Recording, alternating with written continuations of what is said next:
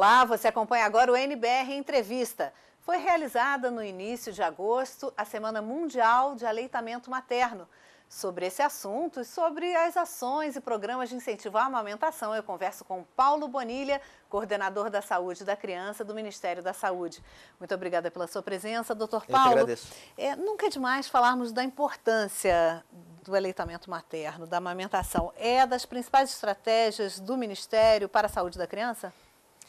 Sim, o Brasil é um dos poucos países no mundo que tem uma política nacional de aleitamento materno bem estabelecida. É, isso porque o aleitamento materno é sabidamente é, a ação que isoladamente pode mais repercutir em, na mortalidade infantil. E hoje uma das hipóteses para grande diminuição da mortalidade infantil que felizmente nós temos, nós vemos, vimos tendo agora no, no país, sendo que caiu, a mortalidade caiu de 47 né, para cada mil crianças nascidas vivas, né, no primeiro ano de vida, é, na, no início da década de 90, para 19 hoje. Né? E o aleitamento materno, com certeza, é um dos fatores que tem feito essa mortalidade infantil cair. Então é, é, sempre muito importante a gente conversar sobre esse tema. E quais são as metas é, para, a redução da mortalidade infantil estabelecidas pela Organização Mundial de Saúde? Então, é, no Brasil, é, essa política nacional de aleitamento materno, inclusive, nasceu em função das baixas taxas de aleitamento materno, que se estima aqui na, na década de 70 em torno de 25% das mulheres, é, das mães né, brasileiras, chegavam ao final do primeiro ano de vida do bebê amamentando. Hoje, esse, esse tempo de amamentação, em média, já chega a beira um ano. Né? Então, beira, é, desculpa, beira 50% das mães é, ao, com um ano de, é, com o bebê com um ano de vida. Então, é, a gente, é, ainda, apesar de a gente estar longe né, do que a, a OMS preconiza, né, de 80%, 90% da, das mães amamentando, né, até quando o bebê chega com um ano de vida, é, os índices brasileiros têm aumentado bastante. Qual o balanço dessa semana? O que teve de diferencial nessa Semana Mundial de Aleitamento Materno? Então, a mensagem que o Ministério da Saúde tentou passar né, este ano foi ah, de que, embora o, aleitamento seja um, um, ato natural né, por parte da mãe, é, ele, para que ele seja bem sucedido, ele precisa de apoio. Né? Então, a, a mãe precisa do apoio do companheiro, né, namorado, marido, é, até na, nas divisões das tarefas domésticas, né, para que ela possa ter tranquilidade para amamentar. Ela precisa é, do apoio é, da família, né, dos familiares, vizinhos, da, da, rede social mais próxima. Como grande parte das mulheres brasileiras hoje trabalha, ela precisa do apoio da, da empresa, do seu empregador, né, do empresário. Então, é, não é, é só é uma de... responsabilidade da mulher, né? Sim. As campanhas têm que ser mais amplas. É, então, um pouco para tirar esse peso né, de, de cima das costas da mulher. Né? Inclusive, é, uma das coisas que a gente nessa campanha coloca é, é que é, as mulheres, para aquelas mulheres que não ah, conseguem amamentar, né, que eventualmente isso acontece, né, infelizmente, e que é, elas precisam é, ser apoiadas e não ser, serem culpabilizadas. Né? Uhum. E muitas vezes isso se dá a despeito da vontade delas. Então, por exemplo, essa questão da, do, do apoio das empresas. É sabido que um, um, um, momento crítico para a amamentação, do momento que acontece um desmame maior, é em torno dos quatro meses. Por quê? Quando ela volta a trabalhar. É isso. Então, daí a importância da licença maternidade de seis meses, né, uhum. que foi uma campanha da Sociedade Brasileira de Pediatria, em parceria com o Ministério da Saúde, e que é, foi transformada em lei, é, e sendo que hoje já mais, que, mais de 10 mil empresas no Brasil já aderiram. Já aderiram. Mas não é obrigatório, né? Não, não é. é mas é, hoje nós temos é, trabalhado, tentando um convencimento às empresas das muitas vantagens que, ela, que a empresa tem, é, no sentido de um maior envolvimento da sua colaboradora, da sua trabalhadora, é, um maior envolvimento com a empresa, com o seu trabalho, na medida em que a empresa garante a licença de seis meses. Lembrando que todo investimento feito pela empresa pagando né, esses dois meses de salário, é, é totalmente ressarcido pelo governo federal. Então, a empresa só ganha né, ao garantir licença de seis meses para suas trabalhadoras. É porque essa separação da criança e da, e da mãe é muito estressante para a mãe, né? Isso interfere na produtividade com certeza também, né? Com certeza. E é, pensando nisso, né, para aquelas situações é, que a, a mãe, do momento que a mãe volta ao trabalho, seja com quatro meses, seja com seis meses, um projeto que a gente é, tem fortalecido nesse último ano e que tem tido muito destaque é o projeto da sala de, de amamentação, né, na sala de aleitamento nas empresas. Né? O projeto chama é, Apoio à Mãe Trabalhadora que Amamenta. Né? Então, essa sala é, de apoio à mãe trabalhadora que amamenta, na verdade é uma sala simples, um espaço em qual qualquer empresa pode garantir, uma sala simples que tem uma, uma cadeira para a mãe se sentar confortavelmente e um refrigerador onde a mãe possa uh, guardar o, o, leite que ela ordenhar e para que ela, ao final do período de trabalho, ela possa levar para casa, garantindo que quem for cuidar do, do seu filho, uh, seja o companheiro, uhum. a avó... Possa dar né? o leite materno. E muitas, e a gente tem é, grande parte, então, das mães hoje conseguindo, às vezes, manter a criança exclusivamente em, em, em, com, recebendo leite materno, apesar de não estar o tempo uhum. todo com o seu filho. E tem um problema também, né? Quando vem o leite, muitas vezes causa uma inflamação, né? Se a mãe não, não retira aquele leite, né? Uhum.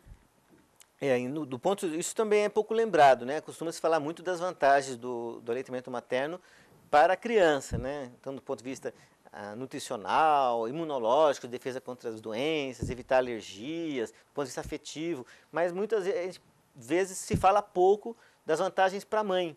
Então, no, no, curto prazo, né, no momento do parto, eh, a mãe que amamenta, ela tem menos riscos de ter sangramento uterino, hemorragia uterina. Né? Se o bebê é, é, colocado pelos colegas médicos, profissionais da enfermagem, para amamentar na mãe na primeira hora de nascimento. Além disso, é, aquela mãe que amamenta te, terá menos chance no futuro de ter câncer de mama e de, de, ovário. Uhum. Então, são providências úteis, inclusive do ponto de vista de prevenção de doenças da mãe. E do ponto de vista do bebê, as doenças crônicas mais comuns também, elas in, in, in, uh, protegem?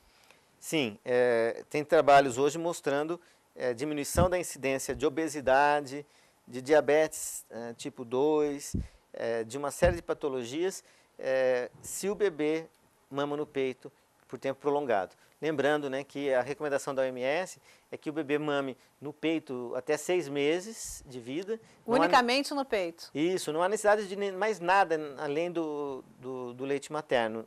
É, uhum. Mesmo água, que às vezes as pessoas pensam, nossa, agora está né, um tempo seco, está quente e tal. O bebê, pouca gente sabe, mas mata a sede mamando o uhum. leite materno. Já hidrata o, su Isso, o porque suficiente. O que, o que provoca sede no ser humano é a quantidade de sal dos alimentos. Então, o, o, leite de vaca, se a gente for comparar, ele é muito salgado. Já o leite materno, não. Então, por isso que o bebê é, muitas vezes procura a mãe e a mãe estranha que ele dá uma mamadinha rápida assim. É só para matar a sede. sede. Ele está matando a sede. Agora, quais são? Uh, foi lançado durante a Semana Mundial de Amamentação uhum. um guia dos direitos da gestante. Né? É, uhum. o que, que consta desse guia? Quais são esses direitos?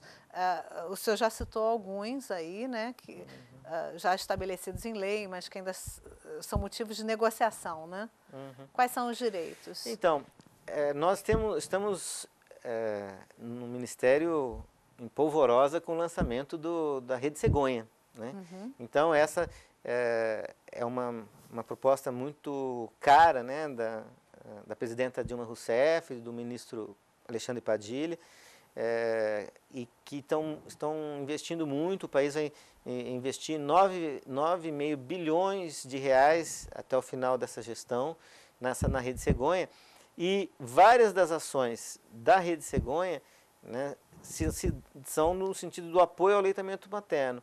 E é, uma série de ações que os nossos, a gente espera que os nossos centros de saúde, né, as nossas unidades básicas de saúde e as nossas maternidades façam e que são ações que estão apontadas justamente nesse guia. nesse guia. que o objetivo do guia justamente é, é empoderar as famílias. Uhum. Né? A gente quer mesmo que as, as famílias, as mães, saibam quais são seus direitos para que possam cobrar no sentido positivo, né, é, dos seus profissionais de saúde, na, na, sua unidade básica de saúde, da sua maternidade, a, a efetivação desse direito. Você perguntou que direito é esse? Por exemplo, o, a, o direito ao acompanhante na, é, durante todo o período do da, parto, depois do pré-parto, já no momento uhum. em que a mãe está a, está aguardando, né, está, está em observação é, em, em trabalho de parto para ganhar o nenê depois, no período, é, nos dois, três dias que ela fica internada também. Então, inclusive é Qualquer é lei. mãe pode cobrar isso no hospital do SUS. Em qualquer hospital. Em qualquer Hoje, hospital. A questão de, de, da presença do acompanhante, ela se, que antes era, era uma norma, era uma meta, era uma sugestão dos, do ponto de vista da humanização, já há, há, há muito tempo ela virou uma lei. Né? Então, uhum. só que ah, no nosso país muitas vezes as leis demoram a serem, a virarem realidade. Uhum. E é, felizmente nós tivemos essa iniciativa com a Unicef, que nós abraçamos né, com, com muito carinho, é, de lançarmos esse guia que vai ajudar as mães a cobrar uhum. esses direitos. Os seus direitos. E esse guia também se volta para a orientação dos agentes de saúde? Essa é uma das principais estratégias que o Unicef, em parceria com o Ministério, nós pretendemos fazer. É, os agentes, que esse, esses guias é, cheguem à população através dos agentes de saúde, que podem, inclusive, ajudar as mães a, a interpretar o que, a, o, o, guia, né, o, o, conteúdo do guia, embora ele esteja muito didático, de muito fácil, muito fácil entendimento. Né? Uhum. Existem ações de capacitação dos profissionais para a humanização do parto e para a orientação às mães no sentido da amamentação? Então, na, na proposta da Rede Cegonha, é, é objetivo do Ministério da Saúde é, um investimento grande na capacitação de profissionais é, da rede básica, né, já preparando as mães para o aleitamento e depois nas maternidades, para garantir, é, por exemplo, o estímulo ao, ao, parto normal, que é um dos problemas é, que o Brasil enfrenta. Né? As, uhum. as o excesso de cesarianas. As absurdas taxas de cesárea, que uhum. por sua vez vão comprometer, dificultar né, o aleitamento materno. Né, por uma série de motivos, é, o, bebê, o, o, aleitamento acaba ficando é, mais difícil, embora uhum. totalmente possível. Mas é, são essas ações é, que o Ministério da Saúde pretende desenvolver na, nas maternidades no sentido de é, tentarmos é, favorecer um aleitamento materno mais prolongado. Que se ampliem as iniciativas Hospital Amigo da Criança, né, também. Essa é outra iniciativa que a nossa prioridade do, com relação à Rede Cegonha, embora a Rede Cegonha seja um programa nacional que visa é, melhorar a, as, as, condições de pré-natal, do parto, do nascimento em todas as maternidades brasileiras, a, a prioridade inicial são os municípios da, da Amazônia Legal, Nordeste, é, e nesses é, locais, principalmente, é, mas em todos os, os, outros demais, a ideia é, é desenvolvemos amplo, amplo processo de capacitação, inclusive com ensino à distância, né, uhum. para os nossos profissionais, para a gente garantir todos esses direitos. Só para a gente encerrar, qual o panorama da Rede Amamenta Brasil e dos bancos de leite? Então, o Brasil é, conta com a maior e mais complexa rede de bancos de leite do mundo. Então, com muito orgulho, o ministro da Saúde anunciou na, no lançamento da, da Semana Mundial do Aleitamento que o Brasil, inclusive, está exportando essa tecnologia, exportando generosamente, né, sem nenhum, sem cobrar nada. Então, no dia, no início de, do, de agosto, é, foi, foi lançado, inaugurado, o primeiro banco de leite do continente africano, né, né no, no Cabo Verde, que foi um trabalho da Rede Nacional de Bancos de Leite, né, é, capitaneada pelo Dr. João Aprijo, a equipe do, dele lá no, no Instituto Fernandes Figueira, que tão, desenvolve um trabalho maravilhoso de parceria internacional, de cooperação internacional é, para todos os países, inclusive da América Latina, da Iberoamérica e agora, inclusive, atingindo o continente africano. Então, esse é, é outro é outro ponto né, da nossa política nacional de desenvolvimento materno que nos dá muito orgulho, porque ele garante para aqueles bebês prematuros, né, que estão internados e que muitas vezes a mãe, uh, o leite, a, mãe não consegue ordenhar muitas vezes, a mãe às vezes está com problemas de saúde também, não consegue dar seu leite para o bebê e uh, o que o banco de leite faz? Ele permite uh, que o bebê receba leite materno né, que não é da mãe dessa criança, mas que foi pasteurizado assim, e está em perfeitas condições e mantém as condições nutricionais para que esse bebê se desenvolva melhor do que qualquer outra fórmula ou qualquer outro alimento. Muitíssimo obrigada, doutor Paulo, um pela entrevista. Eu conversei com Paulo Bonilha, coordenador da saúde da criança do Ministério da Saúde, sobre as campanhas de amamentação. Se você quiser mais informações, acesse www.saude.gov.br. E você pode rever esta e outras entrevistas pela internet no www.youtube.com.br. Obrigada pela sua companhia e continue com a gente. NBR e a TV do Governo Federal.